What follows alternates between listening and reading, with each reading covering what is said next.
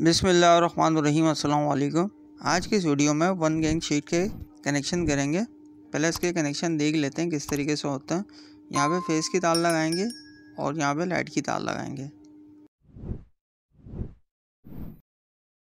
तारों को बाहर निकाल लेते हैं बोर्ड से। पाँच तार हैं और एक नोटल, एक फेस और एक लाइट की तार है। और दो तार हैं, आगे एक बोर्ड लगा हुआ मल्टी प्लग दो तारें वहाँ जा रही है।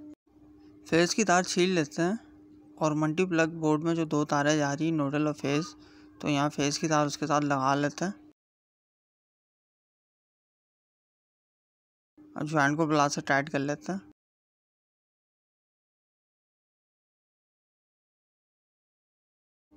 अब टेबल लगा लेते हैं।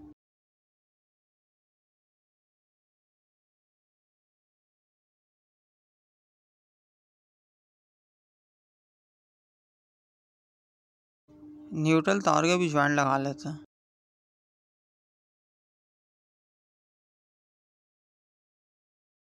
ज्वाइंट को प्लास से टाइट कर लेते हैं।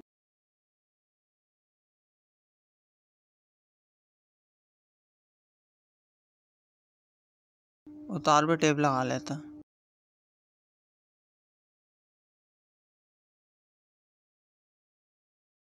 तार के सिरे पर भी टेप कर लेते हैं। वन गैंग की शीट है तो नोडल का कोई काम नहीं है। अब नोडल हम एक साइड में रख लेते हैं बोर्ड में।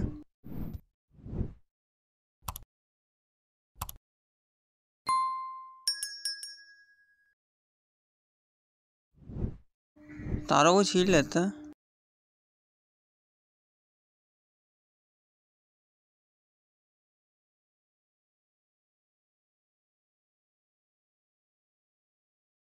शीट के दोनों स्क्रू खोल लेते हैं।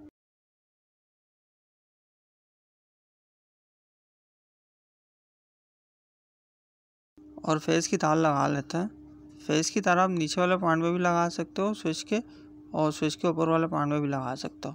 तो स्क्रू को टाइट कर लेते हैं। लाइट की तार लगा लेते हैं स्विच के ऊपर वाले पॉइंट में, और स्क्रू को टाइट कर लेते हैं। शीट के ऊपर का कवर उतार लेते हैं। शीट को लगा लेते हैं। शीट के दोनों वॉल में स्क्रू लगा लेते हैं। पहले तारों को बैठाएँगे।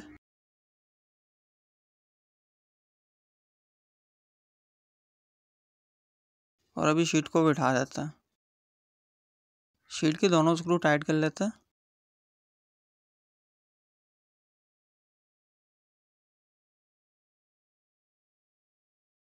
बोर्ड की सीधाई देख लेते हैं। बोर्ड सीधा है तो दोनों स्क्रू टाइट कर लेते हैं। शीट का ऊपर वाला कवर लगा लेते हैं।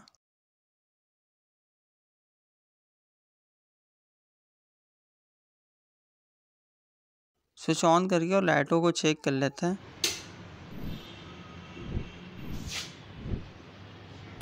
शीट को ऑन ऑफ़ करके चेक कर लेते हैं। बहुत ही आसान कनेक्शन है, आप खुद भी कर सकते हो घर में।